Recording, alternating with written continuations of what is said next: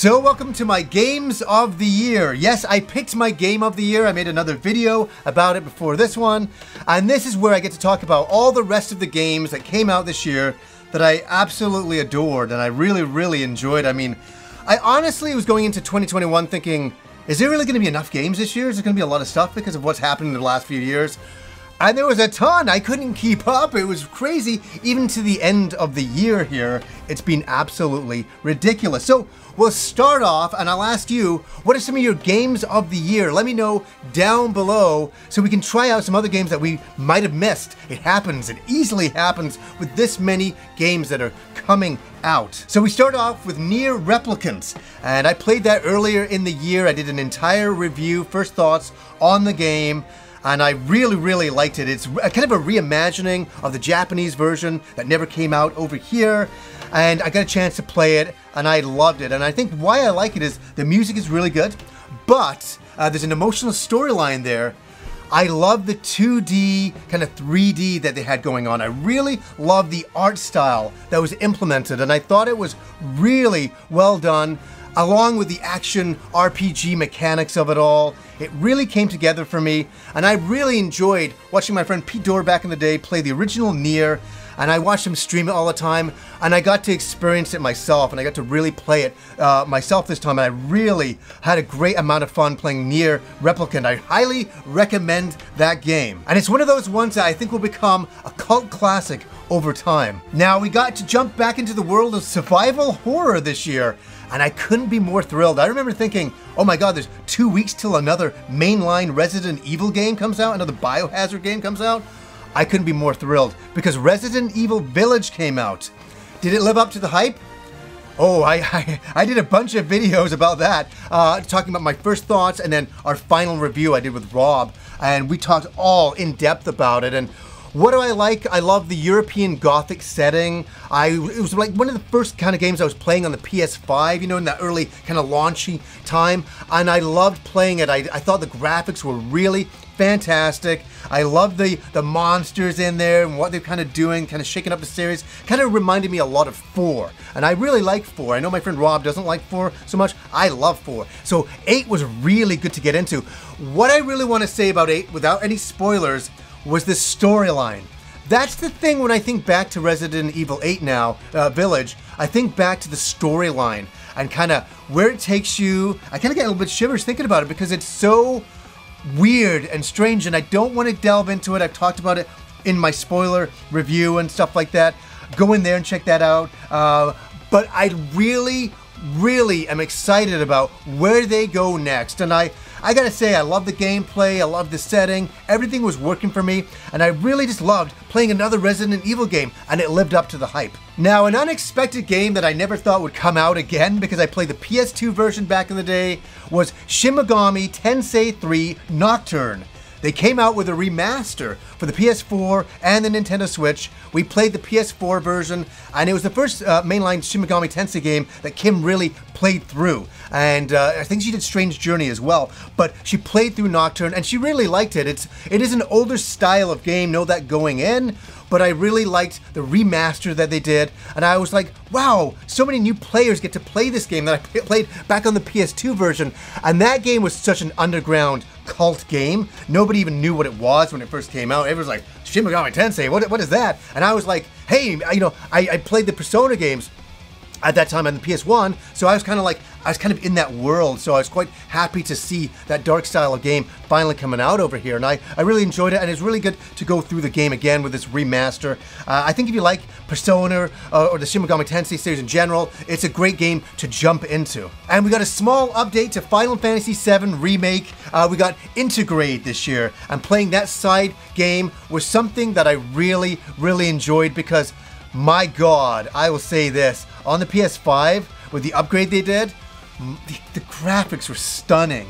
And I was playing this side game going, I can't believe what I'm seeing. And I, I think I even said it reminded me of the old days of video games when you would see a game and it would just, you'd be shocked. You'd be shocked.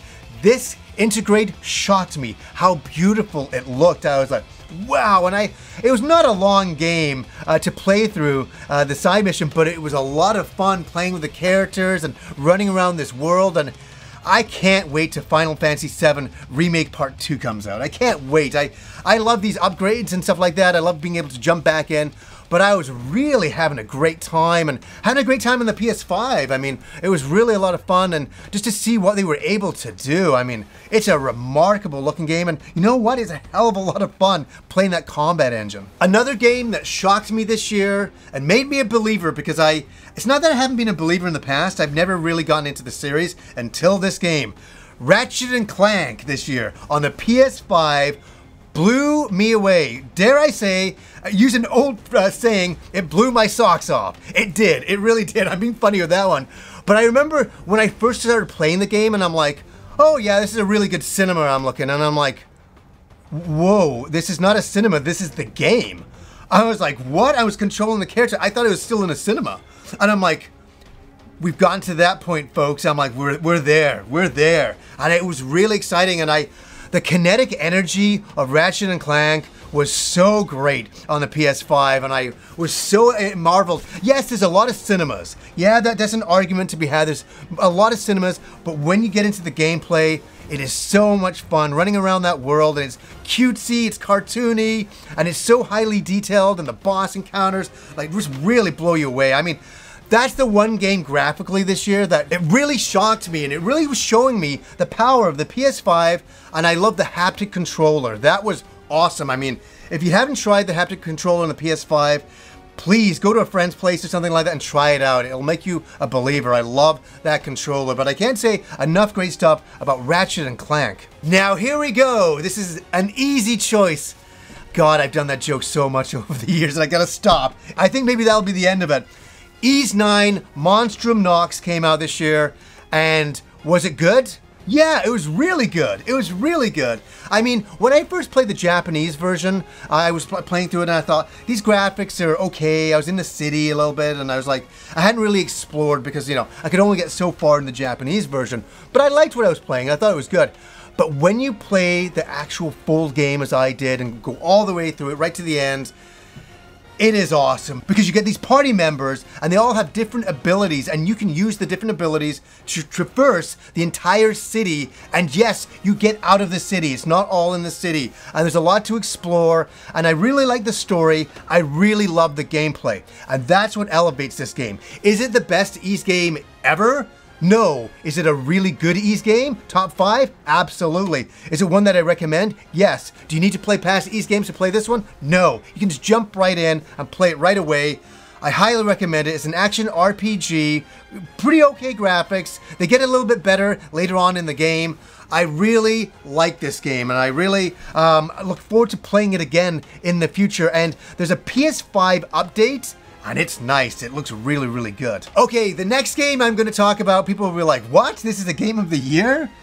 Yes, it's a visual novel. It is Famicom Detective Club by Nintendo, a game based on an old Famicom game in Japan that we never got over here. I would have loved to have got that on the NES back in the day, but why does this game stand out? Why is it a game of the year? I like visual novels and I really, really enjoy playing this with my wife. We, we sat for a bunch of days playing it and there's some twists and turns and it goes a really cool direction and it's, it's a detective story. You're trying to figure out who you are, what you're doing there, how it ties into the rest of the game. There's a lot going on there, and I don't want to ruin too much about it because if I talk about it a lot, yes, it's a lot about clicking different menus. That's what it's all about. I understand that, but if you like choose your own adventure books or anything like that, you can really get lost in this adventure, and we did, and we really, really enjoyed it quite a bit. And it's it's a game of the year. I really wish we got a physical copy of this game this year because I really enjoyed it. I love the music; it really stood out to me. Okay, this is a great one. This is one that I'm so happy. It's the year 2021 and we are still getting side view shooters. I'm so happy to get that. You know, people call them shmups, I call them side view shooters. We got R-Type Final 2. I couldn't believe we got this game. I was so happy it came out, and I'm playing it, and I'm like, I can't believe I'm playing R-Type still in the year 2021. I've said that R-Type is one of my favorite shooters of all time. It's up there. It's a pure classic. And I remember when R-Type Final came out, I thought, is that, this is it? There's no more R-Types. No, no, no, of course not. We got R-Type Final 2. And what I like is the 2D 3D that is going on here is really well done. The graphics are outstanding. The gameplay is there. It is challenging. It is fun. It's great getting power-ups and working your way through the levels.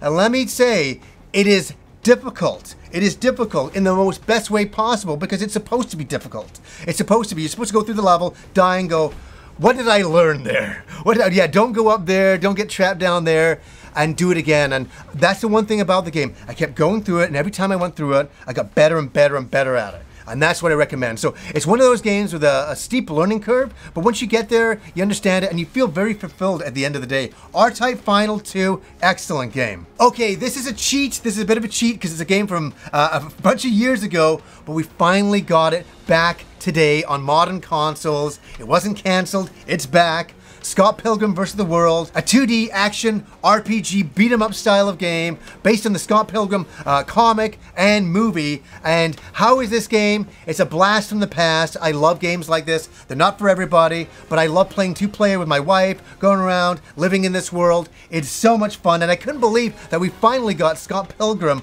once again. And what I want to say about 2021 is the variety of games that I played was so varied and different. I played visual novels, beat 'em ups from the past, you know, first person shooters, everything. There was so many great different style of games this year, and that works into my next game, Forza 5. This game blew me away. I love this game so much. You Forza 4 is one of my favorites, and it's become one of my favorite racing franchises of all time, even surpassing Ridge Racer for me. I love Forza. The level designs are beyond stunning. Just racing around in the world, you're going, what? Really? Look at this stuff. The raining effects, you know, the, the sandstorms that come in just the weather effects in general, the attention to detail, the world building, the racing, everything feels so good. The arcade style of racing for me is what sucks me into this game. And I, do you know what I do? I don't even do missions. I just pick a thing on the map and I drive there. And I just race past all my friends, you know, buzzing past me. And I have a great amount of fun playing it. And I highly recommend Forza 5. Okay, this was nearly my game of the year. It's up there. It's in my top, probably top three games of the year. And Tales of Arise I'm just gonna say it. Tales of Arise, the RPG that kind of came out of nowhere. We kind of thought it was gonna be good. We had no idea it would be this good. And it's an excellent RPG, one that I highly recommend. I have friends of mine that said to me, yeah, they thought they were getting out of video games. They were getting bored by video games. There was not enough games that they liked. They played Tales of Arise, and it brought it all back for them brought it all back for them. I was so happy to hear that because for us, uh, me and Kim playing Tales of Arise this year, we're like, we can't wait. We were playing in the review time, and we're like, we can't wait for everybody to play this. This is remarkable. And it's perfect because it's about the story, it's about the characters, it's about the world building there, the different environments, it's about the combat. That combat, rushing in and out, the explosions of it all, the boss encounters. I could go on and on and on. Tales of Arise is a perfect RPG. It's up there. It's like a 9 out of 10 for sure. A game I got to play with my best friend Rob this year was Metroid Dread. And we had a blast. Oh my god. We were screaming, we were laughing. All the emotions that you get from a Metroid game were there. Is it a difficult game? Yes. Is it a great game? Yes. It's a challenging game for sure, but the more you play it, the more you get at it, the more you learn. The boss encounters, I mean, you just got to keep on getting through those. Uh, they're challenging, but they're so rewarding, and we're building on Metroid and the storyline of what's gone in the past, and we kind of end in a really kind of interesting way in this one. And me and Rob, it was the first time we got to play a Metroid game together over the years, and we sat for a couple of days and went through it, and we're like, Oh my God, what a fulfilling experience. It's one of those moments that we're not gonna forget. We're always gonna say, hey, remember that time we played Metroid Dread? My God, you know, that was awesome. And so we have that memory and it lived up to the hype, didn't it? It did. Metroid Dread lived up to the hype. And the next game I've gotta mention is Super Mario World Bowser's Fury. Yes, it's an old game with a brand new add-on, and let me say something. The brand new add-on is amazing. I want to see a full 3D Mario world just like this. Like, This game showed me where the future Mario games can really go.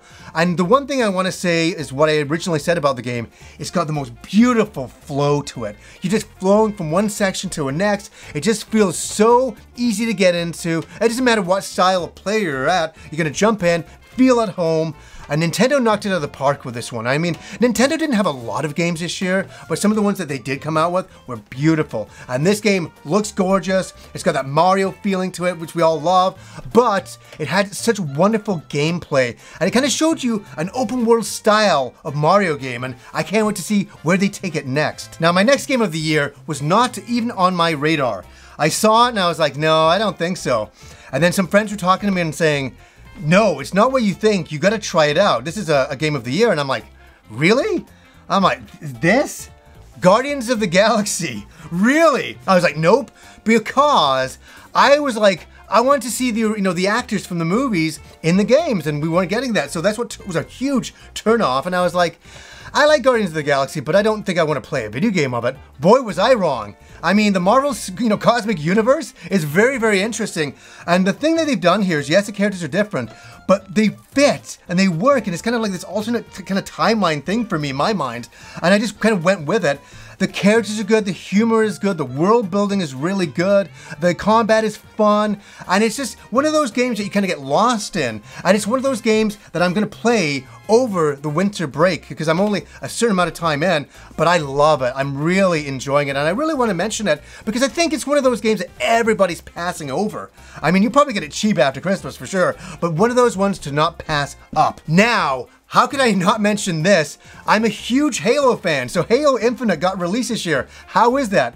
I can't stop playing it. I play it all the time with my friends. We love it. It's so much fun going around, you know, killing your friends online. And I haven't played an online shooter for a while.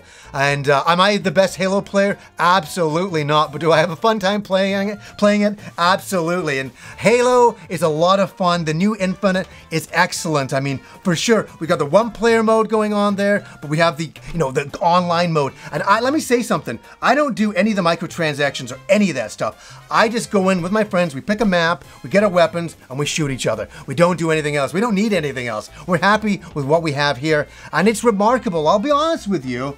I was kind of like waning on Halo. I've been a huge Halo fan my whole life. And we got to five and I was like, I'm out. I was done with Halo. And I've had a few years to have a break from Halo. I think that also helped. And so playing Infinite, I'm back, man, like it used to be in the olden days of Halo. It feels like the original, and that's what I'm really enjoying. And all of my friends are loving the game. We're all having a blast together, and Halo Infinite is an excellent, excellent game. Next, it's my last game I'm going to mention of the year, and it's a game from last year Ghost of Tsushima, the director's cut. I picked it back up, and I had one of the best weeks of my entire life playing that game. It's one of those games that I kind of was like, yeah, I'll start playing it. I got suckered back in, and I just fell in love with this game. It's on, honestly like a PlayStation game of the decade. They did such an amazing job with the world building here and they did such a great job of capturing Japan, feudal Japan at this time. I can't believe it. It's like a historical document that you're playing, and you're living in this world with the samurai and the gameplay and the brutalness of it all. I loved it. I loved it. I and what I liked is it doesn't hold your hand. You can just jump on your horse and you go south. And that's what I did. I was like, I'm going south. And as I went south, the game still would pick me back up into the storyline and weave me back into the overall narrative of the world. And the gameplay was amazing. The standoffs and all the stands and things that you you know learn in the game were remarkable. I couldn't believe the level of detail in this game. Even when I finished the game, the game opens up and there's so much more you can do and I was like, "Whoa." This game is big and and I often say this I can say with this game, and I'm not a religious person, but this game is a religious experience. It's one that you need to experience. And I, I played on a PS4 and I thought it was amazing, but following the wind into the PS5 version blew my mind, man. I mean, I mean, Ghost of Tsushima is an incredible game and one that I will go back to and do some more missions in and all that. So there was a lot of games to go through there. I, I only could mention a certain amount of games that really stood out. There's a lot of other games that I really enjoyed. I just couldn't put in the video. or the video would be five hours long. But I will ask you guys, what is your games of the year? Let me know down below. 2021 was incredible, wasn't it? It really, really was. So anyways, guys, until next time.